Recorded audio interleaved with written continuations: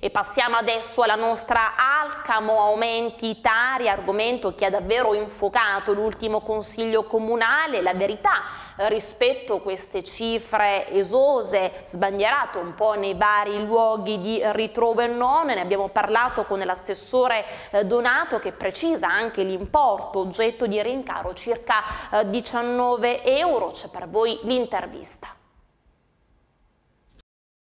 È stata una richiesta straordinaria di modifica della, del PEF, del piano economico finanziario della Tari del Comune di Alcamo, legata fondamentalmente a, ai costi di conferimento delle, sulle piattaforme l'RSU eh, che sono aumentati. Il motivo per cui è stata chiesta la modifica straordinaria a SRR Trapani Nord è proprio questo. Nell'ultimo mese noi abbiamo avuto un aumento dei costi di conferimento alla, alla Trapani Servizi, che è la nostra piattaforma a cui conferiamo i nostri rifiuti eh, RSO, che è passata da 280 euro a tonnellata a 360 euro a tonnellata, IVA compresa.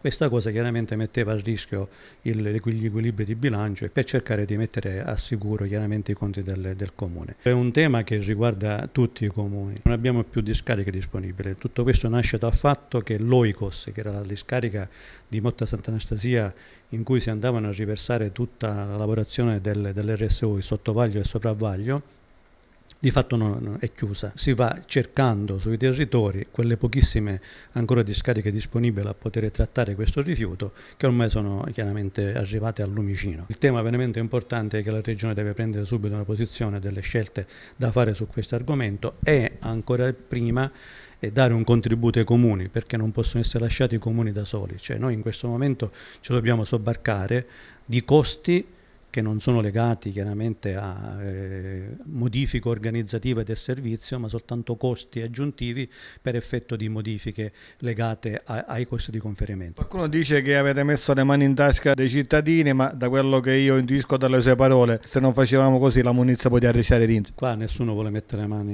in tasca eh, ai cittadini, non c'è nessuna volontà di voler aumentare la, la Tari ad Alcam, ma questo vale per noi, ma vale per tutti i comuni, guardi. Noi ci abbiamo pensato prima per salvaguardare gli equilibri. Il vero tema è che ormai il sistema RERA, quello a cui tutti i piani economici finanziari si sono sottoposti, prevede il full recovery cost. È un concetto che sta a significare che tutti i costi di servizio, della Tari in questo caso, quindi raccolta rifiuti, ma prossimamente vale anche per l'Idico, dovranno essere autofinanziati dai, dalle tasse che i cittadini dovranno eventualmente pagare per coprire complessivamente questo costo. Si è obbligati a fare questo, il nostro malgato, a me non, non piaceva, non piaceva a nessuno della giunta, che in verità per le cifre che ho sentito sono tutte sciocchezze. Mediamente, annualmente, per una famiglia aumenterà non più di 19 euro il costo della Tari del 2023 perché noi abbiamo documentato tutto quello che abbiamo eh, cercato di realizzare.